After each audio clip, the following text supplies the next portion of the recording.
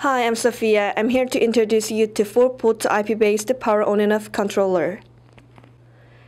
APPSB4000 is an IP-based power on and off controller for device or system power on and off control in remote site.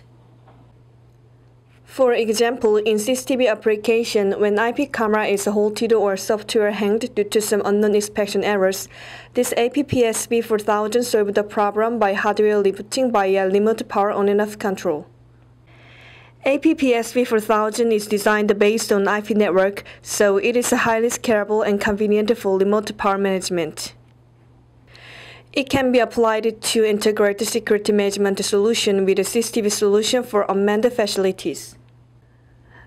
In the front of APPSB4000, APPSB4000 supports our RS-232 console port and two-port fast Ethernet. And APPSB4000 provides DC power and power switch. Also, there is a one AC power input and power switch and fuse connector for overcurrent protection. In the rear side of APPSB4000, there is a 4 AC power output. Each power output port has a power on and off switch.